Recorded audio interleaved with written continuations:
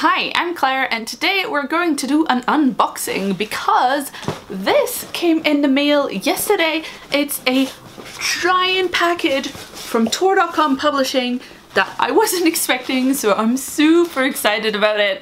I can't believe I actually managed to hold off opening it for an entire day so I could film it for you guys. So I feel like I, you know, deserve internet points just for that. I'm really excited about this because Tor Books and Tor.com Publishing both put out some really, really great books. And if you've seen my most anticipated releases of 2018 video, you'll know there were a lot of Tor titles in that. But without further ado, let's get into the box. I'm holding this very precariously on my knee so you can see me opening it. This is really exciting content, y'all. Just don't open boxes like this at home, kids. Alright, we've got an open box and I'm gonna try not to look too much at what's in it or, you know, poke the tripod with the box itself, but oh my goodness. Oh, yes! Oh my god! It's a giant box! Okay. This is not, in fact, a ton of different books. This is a giant box set of Matt Wallace's Sin du Jour series, which, oh my goodness, I'm so excited. Now this comes with a recipe card in it with like a little bit of flavor text on the front and then all of the books listed in the back in order, which is good because I couldn't quite remember the order. This is like a food-based urban fantasy novella series with seven books in it and each one of them is centered around like a cardinal sin. I've read the first novella but I was kind of waiting for all the series to be finished to kind of like binge read all of them. This is really heavy to hold. Oh and there's other stuff as well in the box. This is the first book Envy of Angels and this is the one that I've read. This one introduces our protagonists Lena and Darren who uh, work in the restaurant industry in New York City and are kind of like going from job to job job, they're best friends, and then one day they get a job that is working at a catering company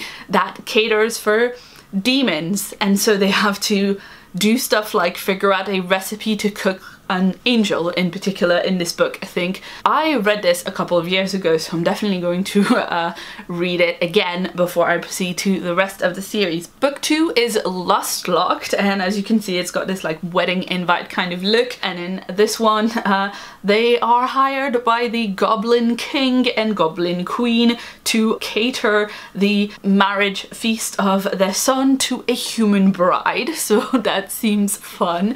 Then we've got Pride's Spell. And this one is movie themed. Apparently in this one they have to go to Hollywood to cater for something cinema related and that's quite exciting because Matt Wallace uh, is a TV writer and has like lived and worked in Hollywood for a while so I think this is gonna have some interesting tidbits in it. Book four is Idle Ingredients in which the catering company has to cater for a motivational speaker and his people.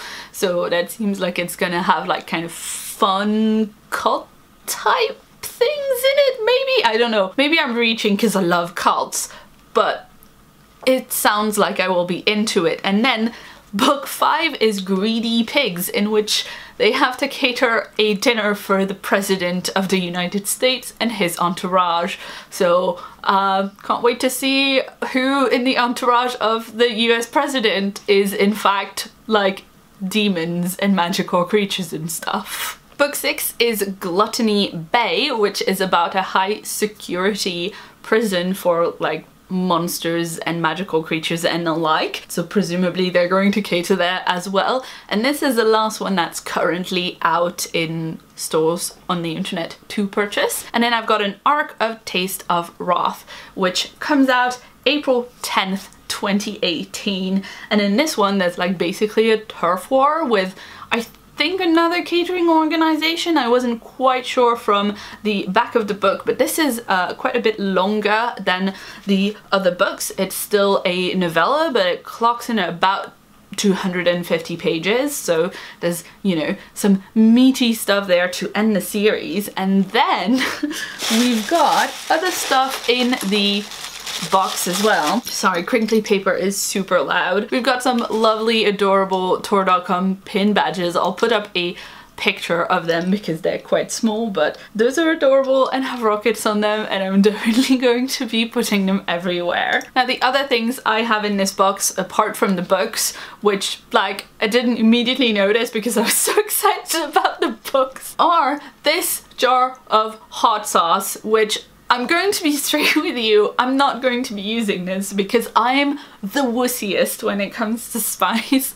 We don't really use a lot of spices in French food and this is like a hot sauce with scotch bonnet peppers in it but I know exactly who I'm going to give it to and they'll be very happy about it. And then the final thing that we had in the box was this tiny whisk which like would be perfect for you know mug cakes or small things and I actually already have a whisk like this but it's like dying of overuse so this is actually going to be super useful and it has a little card there that says Matt Wallace's Sin du Jour series, 7 books for 7 deadly sins. Look how good they all look together. Like they're going to look so good on my shelf. Seriously, these covers are amazing. I really love the kind of style that they've gone for all of them and they're all very different but at the same time it's pretty clear that they all come from the same series. I'm so excited to like get stuck into the series properly and have all of it so I can read all through it super fast because like I'm a binge reader and a binge watcher like I'm not good with episodic series things, but I've had my eye on this one for a long time. Like I read the first novella I think two years ago, but it was the first time I was reading a novella and I wasn't super comfortable with the format. I thought the pacing was a little off because it was finished so quickly. And I think now that I've gotten a lot more comfortable with reading shorter fiction, be it short stories all the way up to novellas, it will be a different experience for me when I read those. And I'm also confident that they are going to be really great because Rachel over at Kalanadi loves this series and I really trust her judgment. So that's it, this was my Tor.com publishing unboxing. I hope you enjoyed this video. I was so so happy to receive these, like I did not expect to get a full set of them. This is amazing, I'm super excited. Yeah, let me know in the comments below if you've been reading this series, if you've been enjoying it as well, and if you'd like to see more from me you can check out a previous video right about here, and if you haven't yet, please hit that subscribe button that's on my face right about here for more videos from me every week. I've been Claire, thanks so much for watching, and see you soon.